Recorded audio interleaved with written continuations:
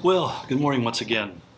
The week seems to kind of go by rather quickly, and uh, I hope it's going well for you. I hope that uh, even though you may be dealing with some of those stressors we talked about earlier in the day, that earlier in the week, that, that you're finding a real confidence in the Lord uh, and knowing that um, sometimes we have to dig deep because God wants a deep planting in our life, and He has a has a great plan. Uh, this summer, uh, actually during the shutdown, uh, when when we went for a month and a half uh, with really being pretty much restricted to our own home, uh, my wife and I started doing a lot of projects. We planted some trees. We got some great great big trees, you know, these kinds in the 50 gallon uh, pots, you know, and and they're pretty mature trees. The problem is you have to dig such a huge deep hole in order to enable them to really grow and, and flourish. And it was exhausting and it was hot. But the reward is that when you dig deep like that and you plant something deeply, what it produces is very rewarding in a much quicker and shorter period of time. So I know, God's taking you through a time of deep digging in your life where you're having to really wrestle and go deep into your walk with Him and even having those times where you're just praying and, and, and seeking God, sometimes with tears, as Paul said in Romans 8, with groans and travails. Um, those are, are exhausting and they require a lot of energy and they kind of dominate your life for a bit, but the end result is that great and wonderful things come as a result. Every time I've had a, a season of just really intensive prayer, uh, I mean, the kind that where you just feel like the Holy Spirit is just praying through you, it's so intense, uh, I've always said, seen it lead to amazing and significant results. So don't uh, look at those times as being an indication of what's wrong with you or even what's wrong with the world, but what God wants to do through you.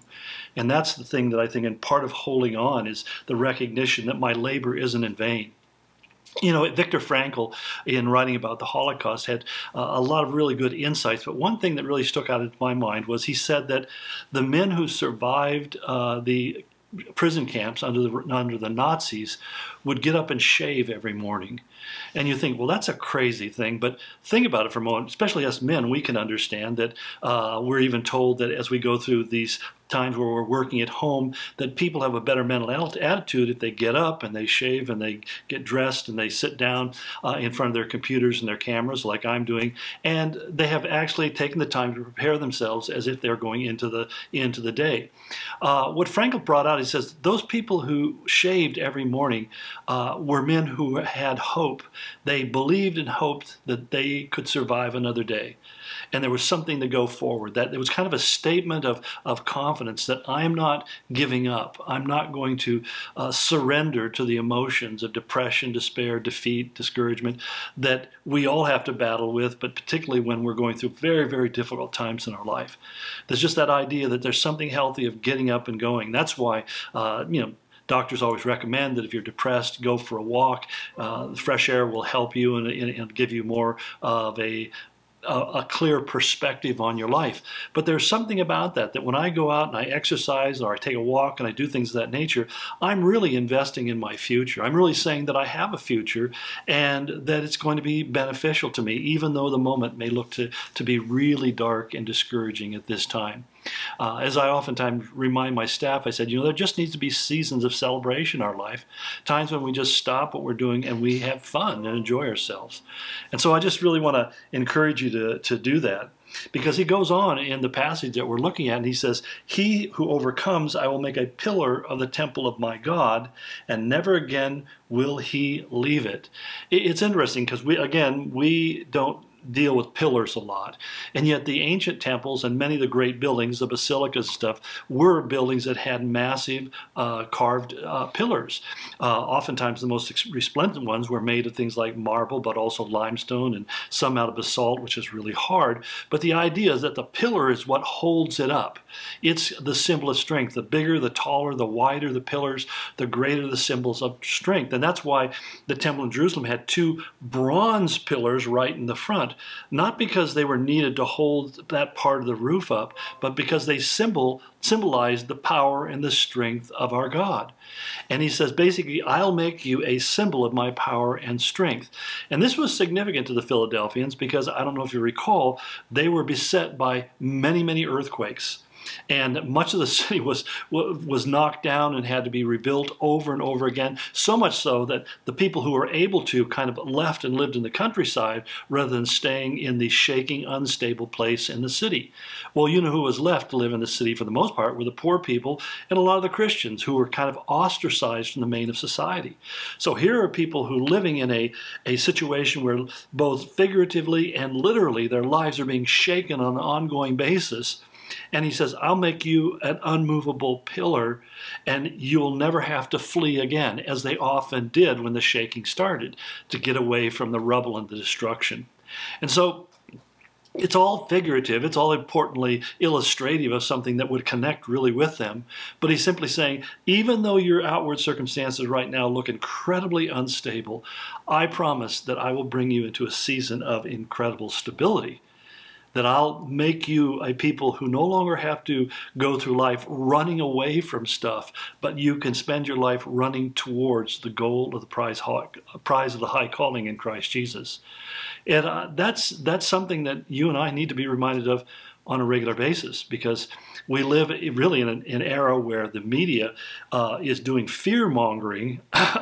their their uh, exaggerated reports of the dangers and threats of things like COVID have left many people just hiding in fear in their basements. I mean, they're they're just terrified to be out and interacting and, and enjoying time with other people.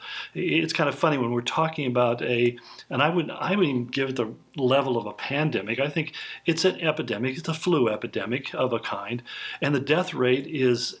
Um, barely higher than the seasonal flu, and yet it's being presented as being the worst health risk since the 1918 uh, swine flu.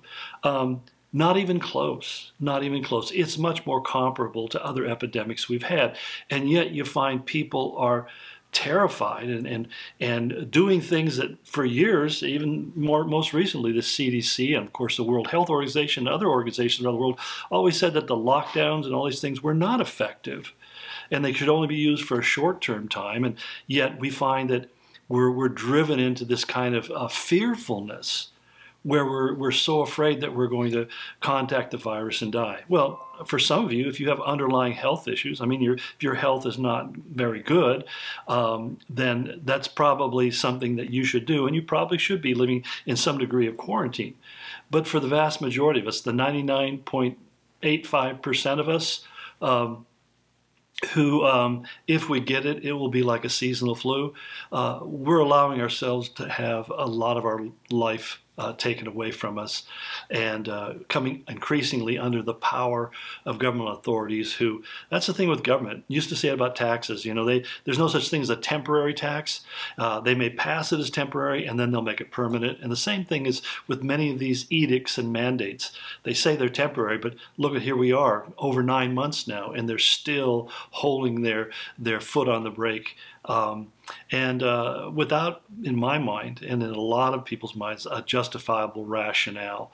Um, if you wonder why I think that, I just recommend a, a, little, a couple of little booklets by Al, Alex Berenson. One is called "The Untold, Untold Truth of COVID-19."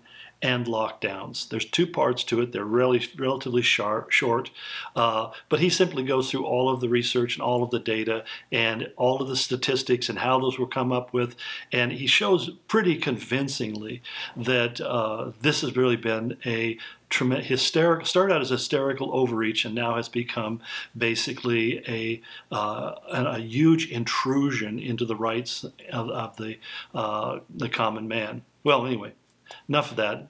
So check that out if you have some questions, and we'll continue talking about the Church of Philadelphia tomorrow.